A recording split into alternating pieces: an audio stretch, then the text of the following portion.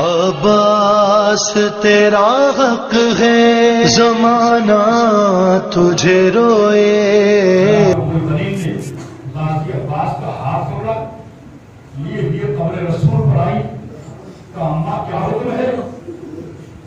चादर उठाई कमरे रसूल पर बिछा दी का अब्बास बैठ जा।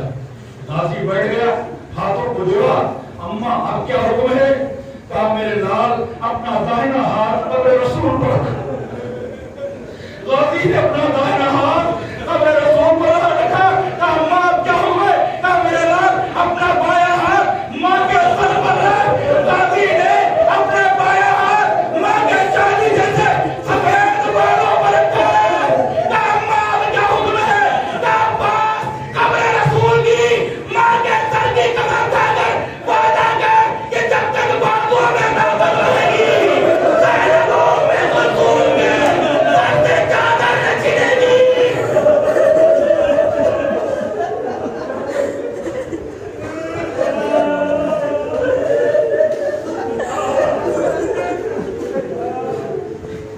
हाँ बताओ बस चंद दकीके और आपके सहमत तमाम, जब करबला के मैदान में इमाम हुसैन से इजाज़त लेने के बाद मौला अब्बास खैमे में आए तो सबसे पहले अपनी बड़ी बहन जनाब जैनब की खिदमत में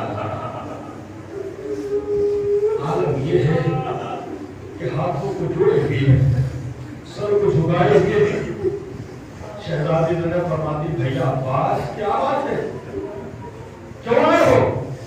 कहा आज़ादी मैदान में जाने की इजाज़त दे दो। शहजादी जैनब फरमाती है भैया भैया अब्बास मैं समझती थी कि दुनिया एक भाई की बहन को असीर नहीं कर सकती। मेरे तो अठारह भाई मौजूद हैं। भला किसकी मजाल कि जो जैनब के बाजों में रस्सियाँ बाँध सके, लेकिन भैया अब्बास आज जैनब को यकीन हो गया। कि जैनब ज़रूर असीर की जाएगी, ज़रूर जैनब के हाथों में रस्सियाँ बांधी जाएगी। शहजादी बस इजाज़त दो। जनाब जैनब ने इजाज़त दी। गाजी का हाथ पकड़ के पकड़े हुए खैमे में आई, इमाम हुसैन के खैमे में तमाम बीवियों को आवाज़ दी बीवियों आओ आओ तमाम बीवियाँ जमा हो गई। बीच में जनाब जैनब है जनाब अब्बास और इमाम हुसैन है अतराब में बीवियाँ हैं एक मरतबा अली की बेटी ने बीवियों को देखा और देखकर कहा, बीवियों, अरे अली की बेटी को माफ़ कर देना।